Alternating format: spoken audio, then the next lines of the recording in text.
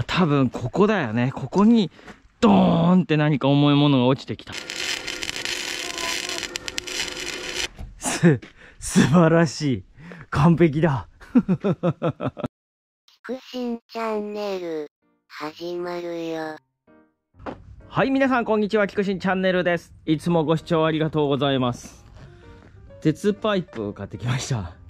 はい、何をするんでしょうか。えー、ロールバーですね。ロールバーを作っていきたいと思います。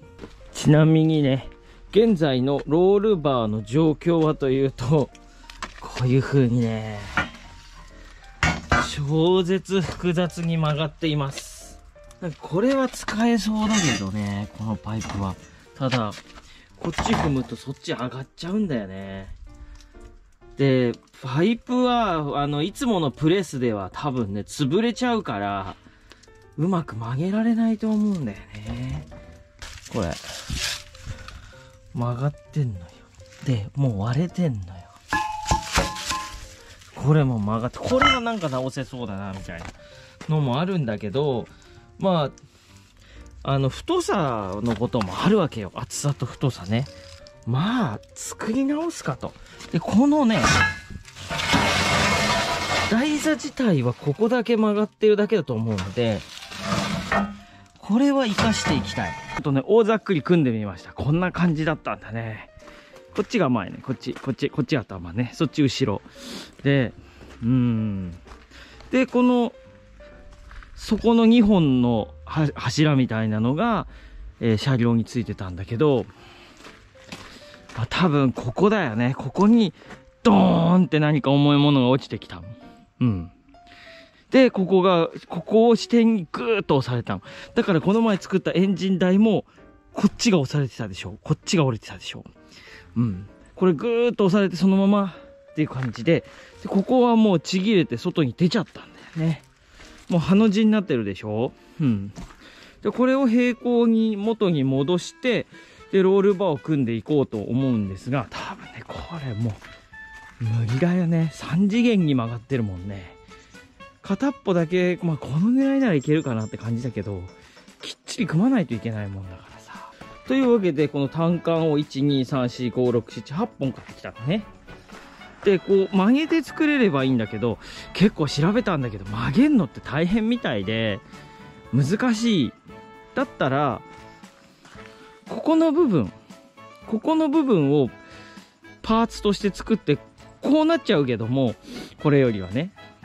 あのーまあ似たような感じで、原子合わせで作っていければいいんじゃないのかなって、すごく思ってます。ちょっとねじれてるのはしょうがないからね。修正修正で。面白いんだ。長さがさ、これだいたい1メーター。横幅もだいたい1メーター。で、もうこんなことになっちゃってるけど、だいたいここも1メーターなの。だから、全部1メーターで作っていけば、四角、四角っていうか、ボックスを1メーターで作っていけば、作れるだろうと。つなぎ合わせるのに買ったのがこれ。えー、溶接式缶継ぎ手。はい。缶継ぎ手。こうほら、ぴったりなやつ。こういう風につなぐんだよね。うん。そういう感じ。ただ、90度だと味気ないから、少しこう切ってさ、とこう角度を調整できるかなと思う。1個ね、5、600円ぐらいだった。うん。単管1本と同じぐらいね。で、4個買いました。まあ、曲げる機械を買って、難しく曲げるよりは、こっちの方がね、リスクないから。本来の用途以外には使用しないでくださいってか、今回本来の用途だよね。じゃあやっていきたいと思います。で、こっちは多分いいんだけど、そっちのさ、ちょっと曲がってるから、そっちの曲がりを少し取ってから作業していきたいと思います。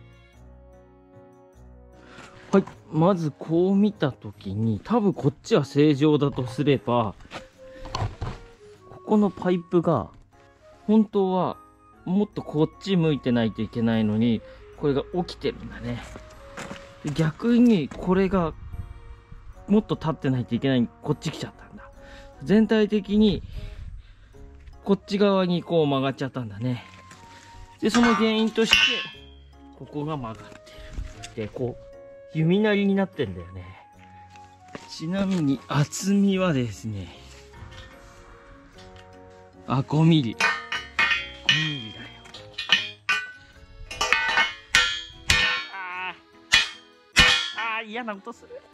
はい、というわけで、プレス機持ってきました。こう見た感じ、この、ここら辺だよね、曲がってんのね。ここら辺が、曲がってるな。思いついた。なんかこういうのを挟んでさ、で、やればいいんじゃね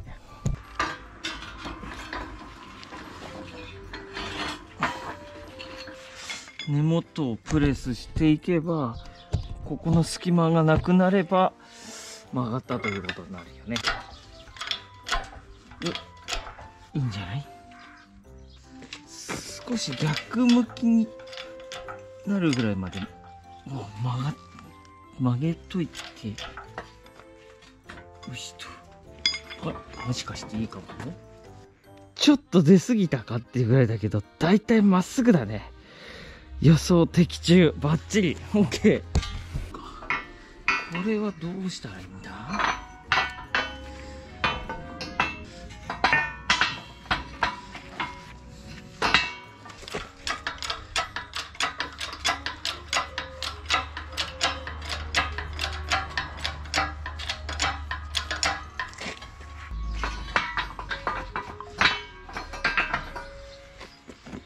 ここだね。ここが V 字になって。る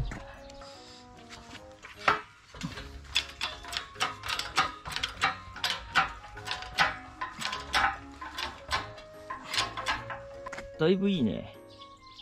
だいぶいいね。どこら辺に切り込み入れたらいいかな。やっぱ下かな。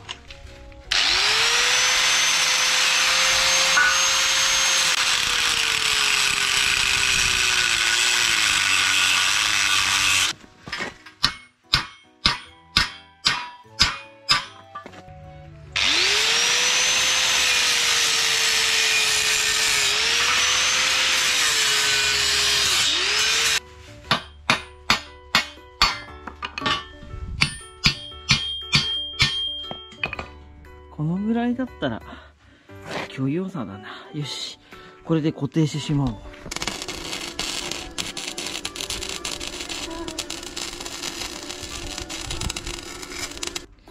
う。うん。だいたいだいたいだいたい合ってるね。OK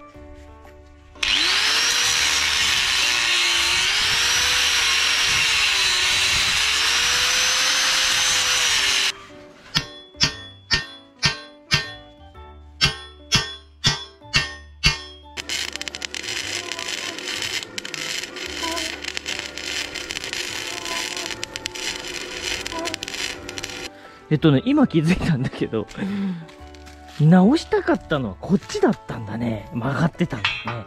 こっちを直してしまったね。こっちに合わせて。うん。まあ、左右対称になりました。こっちは、だから曲がったやつに合わせてつけた。まあ、こっち自体のね、あの、そっちの曲がりは広いんだけど、こっちはちょっとだったから、うん。まあ、どうせ作り変えるわけだし、どっちかが左右対称になってればいいだけの話なので、これでいいとします。よく確認すればよかったわ。今回ね、ちょっと単管が、こう薄いやつなんだよ。安いやつだから。それだと、こう、はい、かなりこう、余裕があるのね。うん。結構。前のやつに比べて、太さは、ちょっとこっちの方がちょっと太くてで薄いから余裕があるからまあここ調整しながら組んでいけばいいかと思います。はい続きやっていきたいと思います。えっ、とねせっかく鉄パイプ買ってきたんでここ直したいと思います。こっちね曲がってんだよねこっちにね。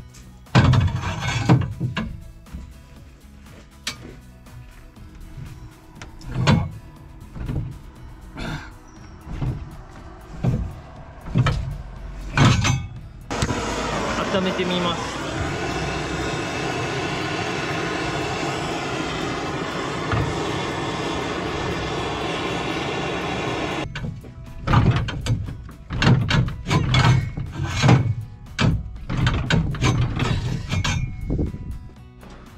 全然曲がんないね。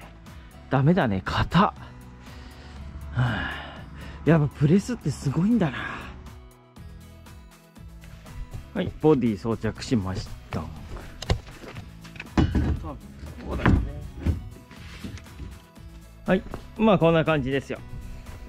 これを立てていきます。こうね。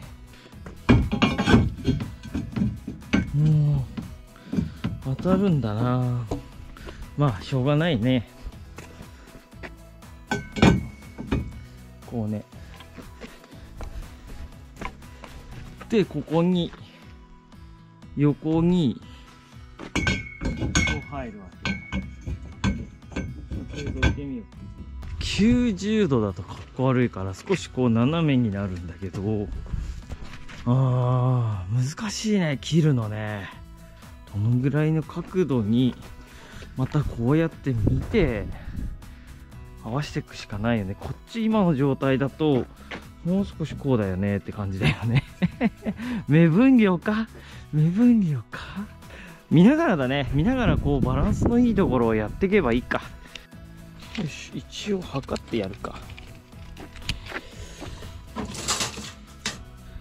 138ああ後ろは140だ。どう？まだこっちがこうなってるよね。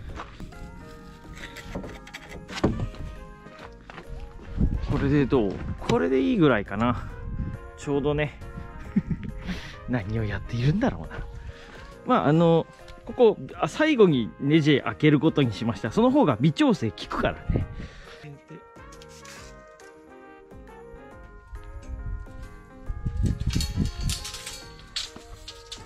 大ざっくりだけど計算は合ってるはず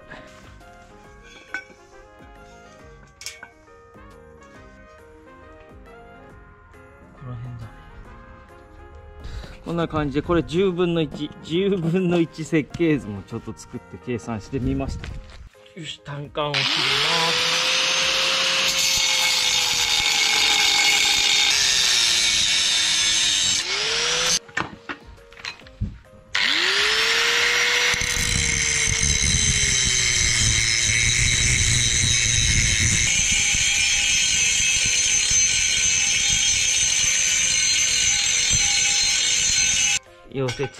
しやすいようにしました。こっちはさすげえ分厚いね。4mm ぐらいあるんだけどこっちが薄いからね穴開けないようにして。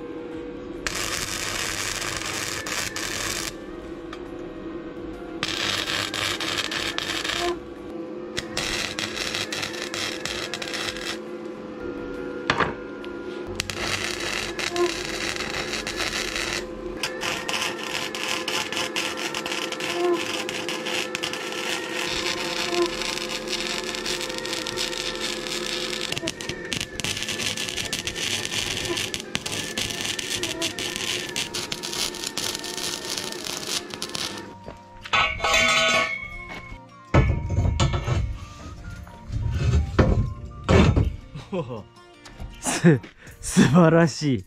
完璧だ。ちなみにこれ後ろも入るんであれば同じもの作ればいいんだ。素晴らしい。素晴らしいね。これを2個作ればいいんだ。うん。オッケーオッケー。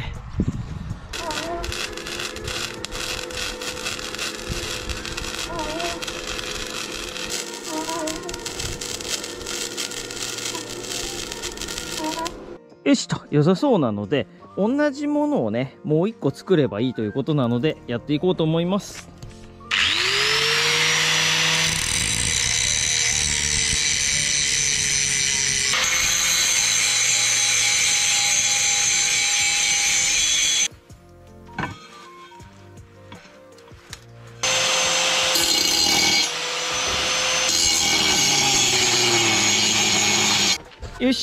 じゃあ今日はここまでにしましょう。